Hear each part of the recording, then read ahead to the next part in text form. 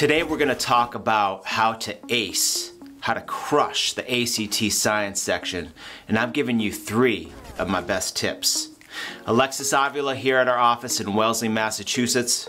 For questions or tutoring in person or online, visit preppedandpolished.com or call us 781 753 9951. And remember, if you find value watching this video, smash that like button and click the subscribe button, click the bells, click all those bells to get the notifications for new videos.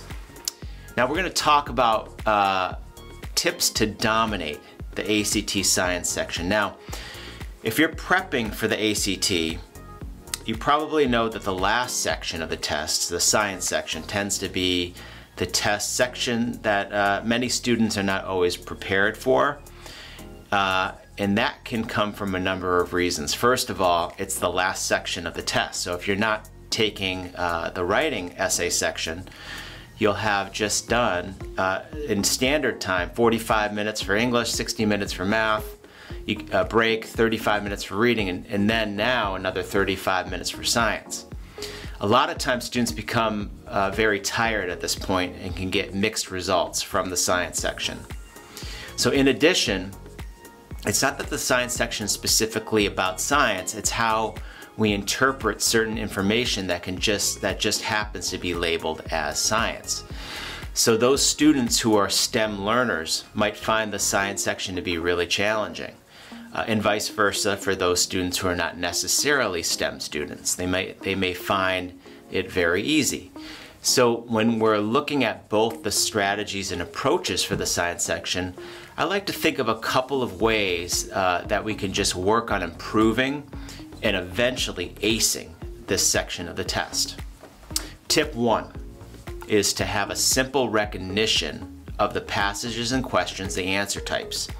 You need to know how many passages there are, what types of passages there are, what kinds of questions to expect and to see, and also the types of answers. By doing this, by recognition and applying this knowledge, you shouldn't be surprised when a certain question pops up for any type of passage. In addition, I would say if you can recognize, for example, oh, this type of passage seems to show us an experiment, whereas, uh, hmm, this, this passage is written out, so there's no graphs, there's no tables. How should I be approaching this, this one? By asking these questions along the path of the test, you're actually able to prepare yourself more so than, than someone who just goes into this section blindly. In addition to the types of passages that you see, the question types and corresponding answers are just as important. When looking at the question, is it telling me where I need to pay attention to? Is it telling me to look at experiment one, uh, at table three, or scientist B's ideas? These questions are going to be are going to help us direct us to the answer where I need to find it, or the answer choices might be indicative of where we need to look for. So by paying particular attention to these questions, those questions and those answers themselves, you can maneuver your way through the test. Tip two to consider is your time management on the section. So standard time for the science section on the ACT is 35 minutes and you have six passages. So that's less than six minutes per passage. So you really don't have a lot of time to answer uh, and, and you, between six and seven questions per passage. So that's a lot. You don't have a lot of time.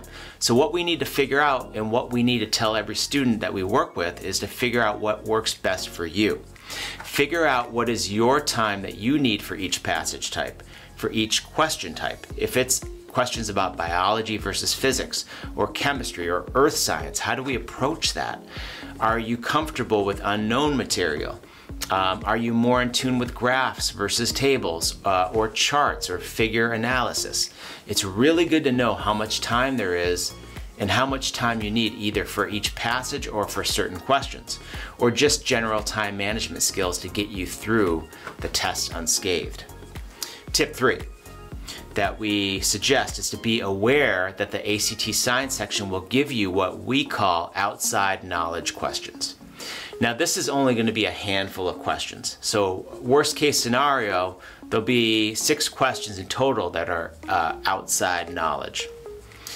This is based on certain chemistry, uh, biology, physics, earth science, astronomy rules, uh, and principles that can crop up, crop up throughout the test, such as knowing uh, the boiling and melting points of water, the sizes of planets in our solar system, whether something is basic or acidic, and how to interpret a base or acidic pH scale.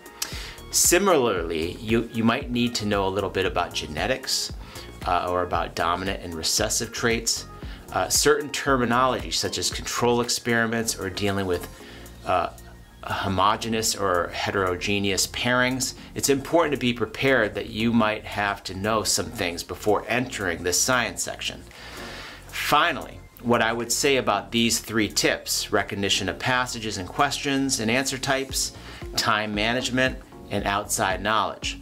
These are just three tips, and uh, there's plenty of others. And I highly recommend that if you're working with a tutor or if you're working with us at Prepped and Polish, that you ask about these tips. And we're, ha we're happy uh, to discuss both in general and student-specific tips that you may work to that may, might work to your advantage to improve your score for this section of the test. We have a lot of tips at our disposal.